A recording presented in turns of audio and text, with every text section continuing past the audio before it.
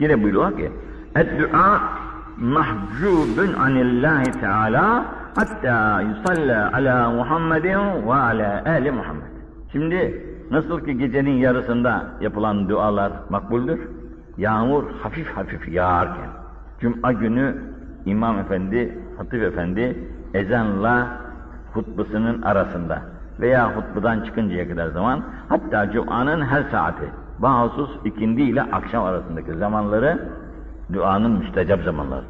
Birçok sayılar böyle, bu birkaç tane söyledim. Fakat bununla beraber duadan duanın evvelinde evvela Resul-i Ekrem sallallahu aleyhi ve sellem Efendimiz Hazretlerine güzelce bir salat-ı selam okumakta. Mesela salat-ı selamların en güzeli namazda okuduğumuz Allahümme salli ile Allahümme barektir. Başka birçok salat-ı selamlar vardır ama en makbulü bunlardır. Çünkü bunlar Peygamber sallallahu aleyhi ve sellemin tavsiyesi ile biz namazlarımızda okuruz bunu. Daha başkası olsaydı Cenab-ı Peygamber onu söylerdi.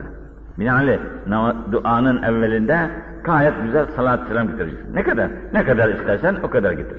Duanın makbuliyetini ne kadar çok istiyorsan salat selamı da o kadar çok edersin. Duan bittikten sonra da yine o salat selamlarını tekrar edersin.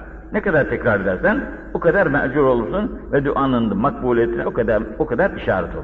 Bu salat selamlar okunmadıkça yapılan dualar mahcuptur. Yani varmaz Cenab-ı Allah. Bozuktur makine. Et-dua cündün min ecnadillahi teala. Bak dua cündün min ecnadillahi teala. Görmediğimiz Allah'ın askerlerinden bir askeri vardır Allah Teala'nın ki gözler görmez onu.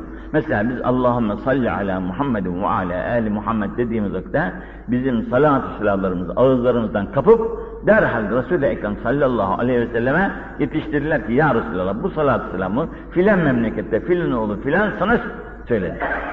O da bil mukabele bize yapacağı duayı yapar.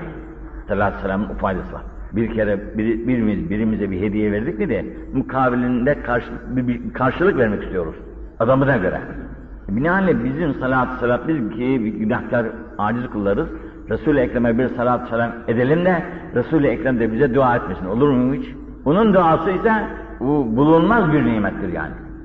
Bu dualarımız da Hazreti Allah'a eriştirecek allah Teala'nın böyle görünmez askerleri vardır. Allah'lar Cenab-ı Hakk'a götürürler ki filan memleketi, filan bulun senden böyle istiyor ya Rabbi diyerek.